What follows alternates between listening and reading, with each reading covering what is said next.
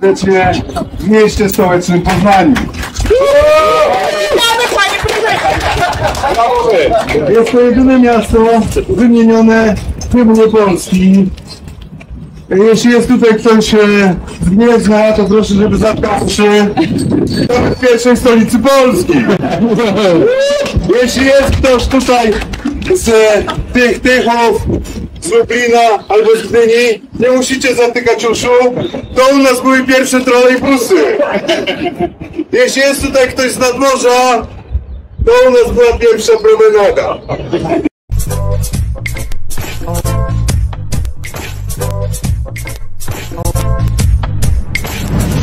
Program przeznaczony dla osób pełnoletnich oglądasz na własną odpowiedzialność. Za tym mostem rozpoczęła się kolebka polskości, oczywiście w rozumieniu współczesnym, czyli mocno chrześcijańskim. To, co za, za mną widać, to jest pierwsza polska katedra. Nie chcę was zarzucać latami i nazwiskami, ale czasem będę musiał powiedzieć to, że chrzest Polski był w 966 roku, a w 968 roku już tutaj była wybudowana katedra i już tutaj biskupi sobie zarządzali. Most, na którym się znajdujemy, pewnie sobie pomyśleliście, albo ktoś z was pomyślał, o, przęsełko, na które da się wejść. Powielokroć, powielokroć ludzie przechodzili przez te przęsła, głównie studenci i maturzyści, żeby e, im się wiodło. Most przeniesiono był dwa mosty dalej, przeniesiono tutaj i teraz spadają i tu, i tam, bo też zrobili takie przęsła.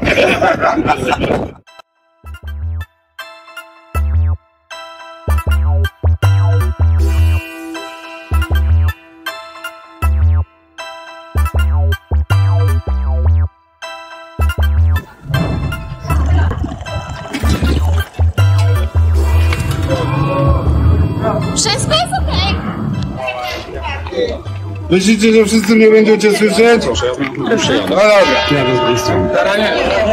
No dobra.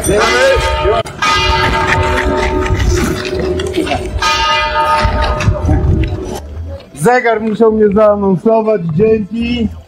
Słuchajcie, Kolega wybiegł i zaczął krzyczeć, że no to będziemy wszyscy przyszli. spokojnie, tylko 18 razy jeszcze, tak?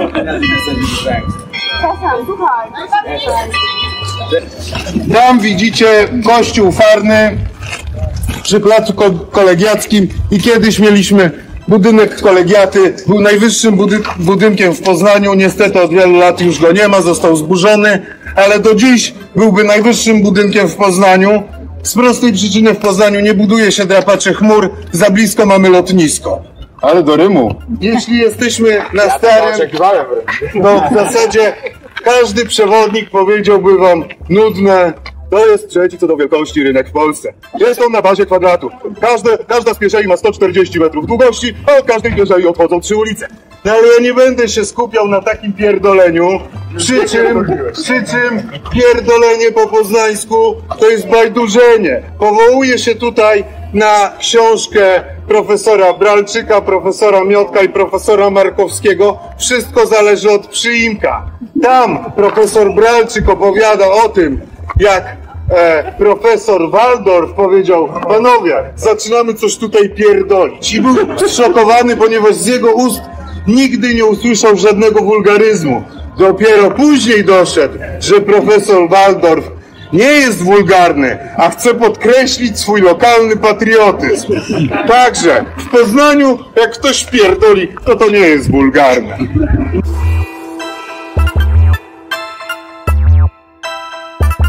Bednarowicza, który jest twórcą tego z prostej przyczyny. Jego syn to mój kumpel, dlatego to zapamiętałem. No i nie byłbym sobą, gdybym wam nie opowiedział historyjki, która mnie najbardziej urzeka na poznańskim Starym Rynku, a mianowicie, jak przyjechał tutaj król e, August II Mocny i zrobił sobie popijawę. I to mi się podoba, na to też czasem liczę, piją. Dziękuję, przechodzimy dalej.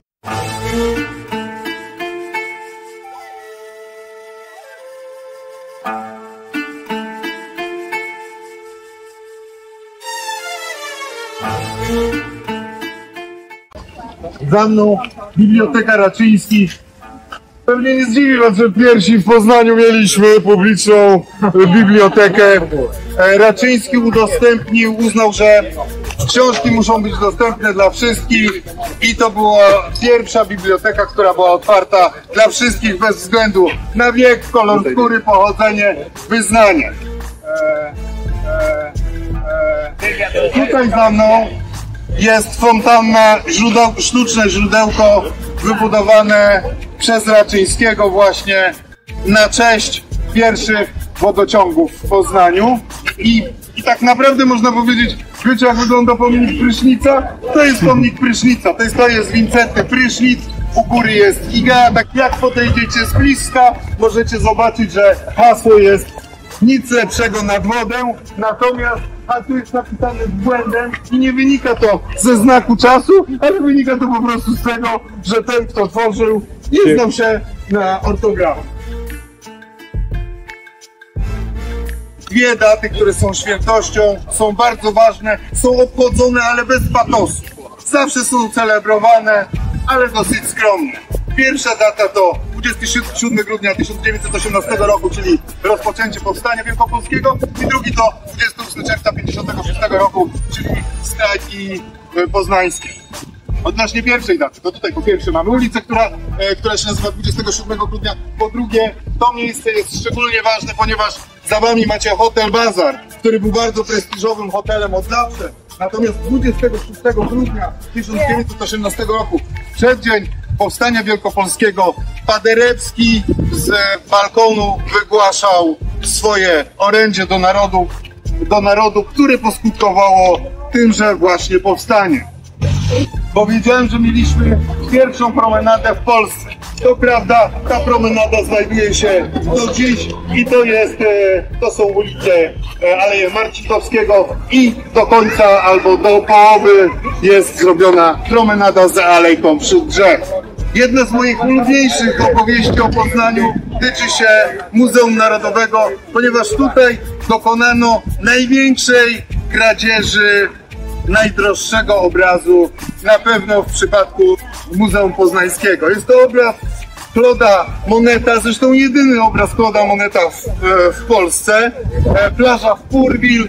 Jeśli ktoś słucha rapu i słucha mojego kolegi, to on nagrał utwór pod tym samym tytułem. Plaża w kraju, na marzeń haju Zrodzeni w jaju, na rozstaju Rozgrzani do granic szału Roztańczeni baru, na z Bajkału, mistrzowie łupu Podziału, banału, Do finału doprowadzić twój film Pomału film Aż na plażę Aż na plażę Na Purwil Poznaniacy nie wiedzieliby nawet, że mają ten obraz w większości, gdyby nie pewien fakt, pewna kradzież.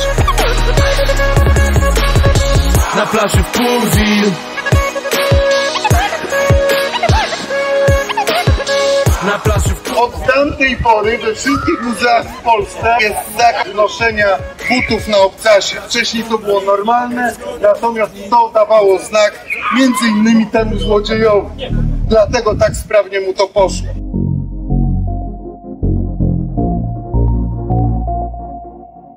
Został 3 lata, a po roku wyszedł za dobre sprawowanie.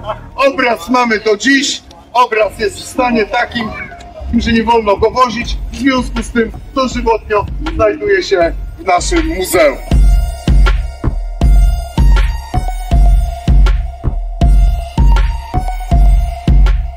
Z Gniezna się mamy kogoś e, z, z Tychów, z Lublina i tak dalej, tutaj Zatorza. Zapomniałem się zapytać o Warszawiaków, bo tutaj pewnie mamy, a Warszawiacy to nie muszą zakrywać uszu, bo oni wiedzą co?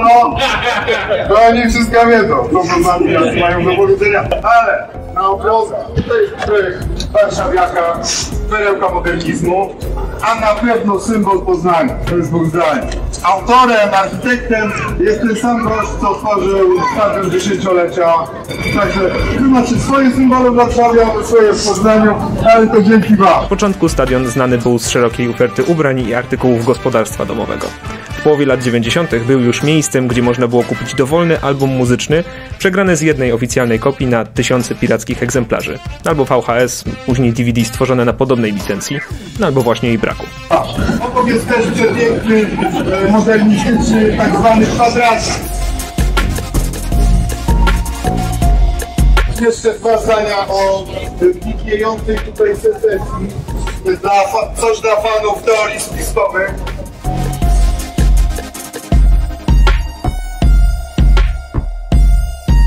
Da Vinci, jak miał na imię? Leonardo! Tak jest, Leonardo da Vinci.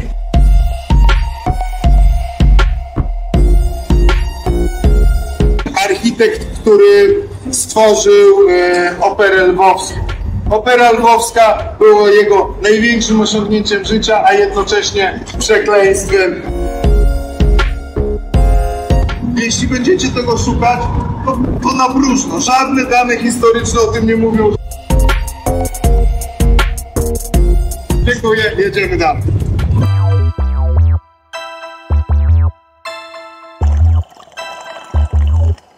Aha, okej.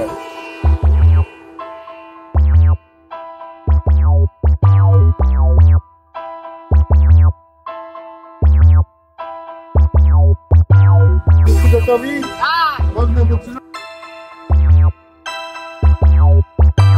Tak, tak, tak jak wam powiedziałem, dwie daty dla poznaniaków są istotne.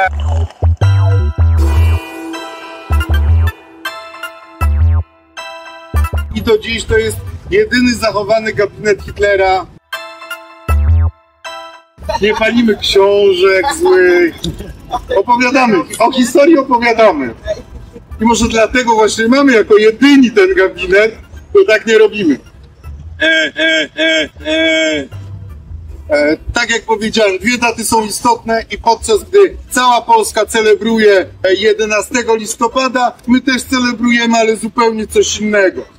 Tutaj jest ulica Święty Marcin. W Poznaniu mamy ulicę Świętego Wojciecha, Świętego Szczepana, Świętego Czesława, który nawet nie był świętym, ale mamy taką ulicę. Zresztą patron Wrocławia, z tego co, co się orientuję. I mamy ulicę Święty Marcin. I to jest ciekawostka, bo lingwistycznie to jest niezrozumiałe dla, dla przyjezdnych, że coś się dzieje na Świętym Marcinie.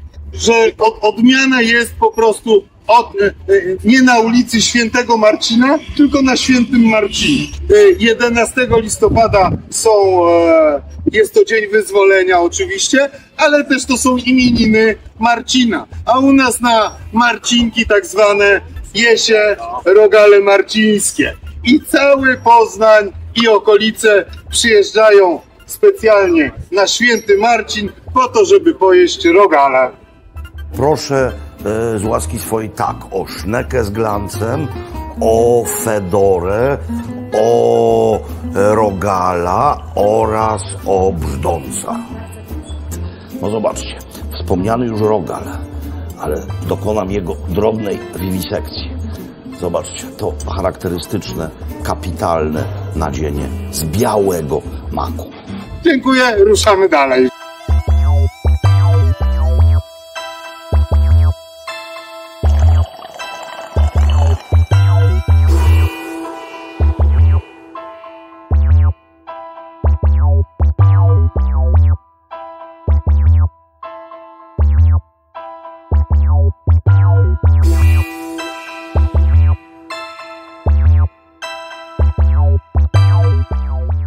Tutaj jest pomnik, który mnie i myślę każdego miłośnika zwierząt za serce chwyta. Pomnik psa. Właściciel uznał, że każdy pies, który będzie mieszkał w tej kamienicy i odejdzie, będzie mógł mieć wypisane swoje imię na cokole. I w ten oto sposób wszystkie imiona psów, które tutaj mieszkały i które odeszły, są upamiętnione na cokole i na pomniku.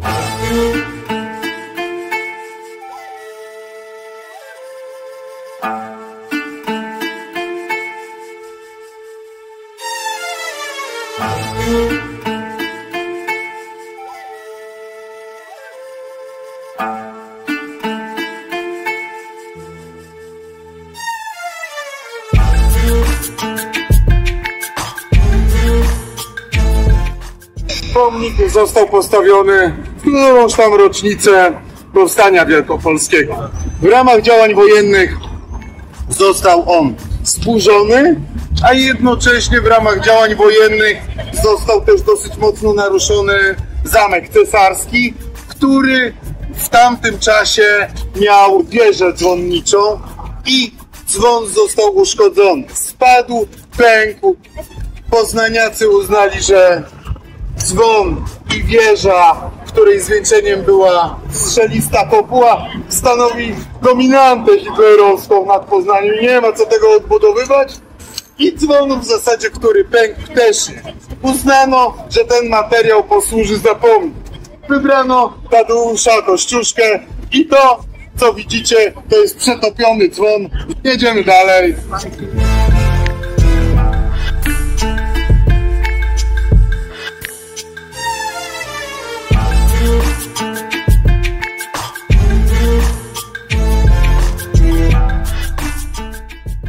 ta dzielnica, te, to osiedle jest to tyle istotne, że jeśli chciałoby się szukać secesji berlińskiej, e, szczególnie lata 20., to w zasadzie w Berlinie jest to nieosiągalne, ponieważ wszystko zostało wyburzone. Więc ci, którzy chcą zobaczyć, jak to kiedyś wyglądało w Berlinie, muszą przyjeżdżać do Poznania.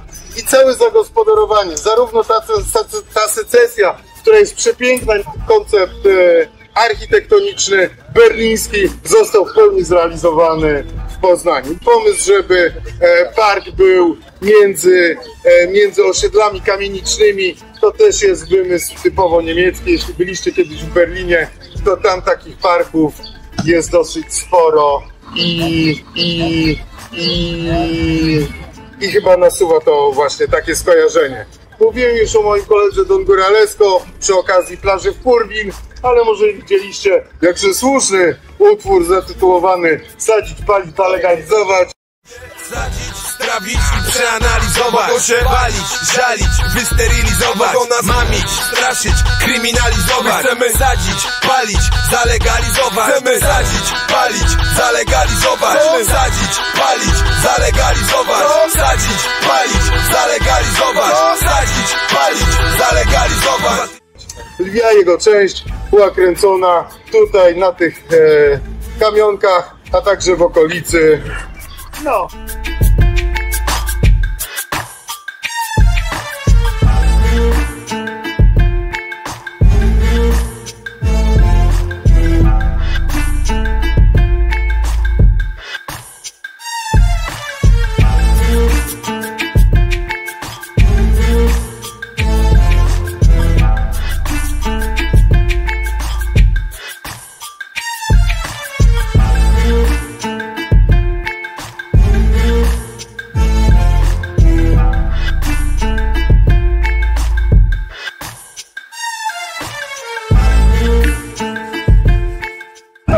Wam pokazać, w którym miejscu jest najstarsza winda, która znajduje się w Polsce. Jest e, windą nadal działającą i budowaną przez e, tą samą ekipę, która budowała e, windy do wieży Eiffla.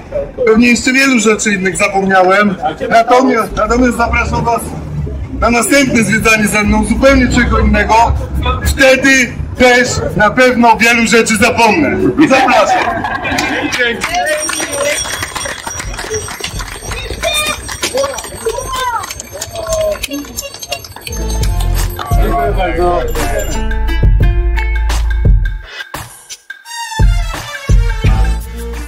Tej, tej, tej. Poczekajcie.